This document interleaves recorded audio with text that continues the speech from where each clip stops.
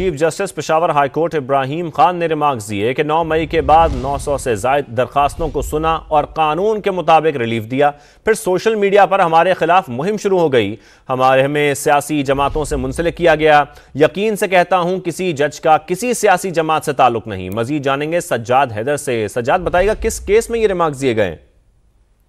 जी, बिल्कुल, आज Peshawar high court में ट्रांसपेरेंसी इंटरनेशनल रिपोर्ट में अदलिया को जो तीसरा करप्ट इदारा शाया किया गया था, उसके केस की समाप्त हुई है। केस की समाप्त chief justice Peshawar high court justice Ibrahim Khan ने की है। ट्रांसपेरेंसी इंटरनेशनल की जानब से बोर्ड मेंबर हबीब हशमत भी जो है अदालत में पेश हुए, जबकि यूके से अदालती Mamun professor Niaz Hill university video link के ज़रिए जो है इस केस की समात में शरीक हुए। थे ट्रांसपेरेंसी इंटरनेशनल जो रिपोर्ट जारी की थी उसमें अदलिया को तीसरा कप इदारा बताया गया था। चीफ जस्टिस ने आज इस्तेसार करते हुए कहा कि ट्रांसपेरेंसी इंटरनेशनल जो रिपोर्ट जारी की उसमें सिर्फ़ बीस परसेंट लोगों ने जो है अदलिया को करप्ट कहा जबकि अस्सी फ़ीसद ने इसको क्लीन करा बहुत शुक्रिया आपका।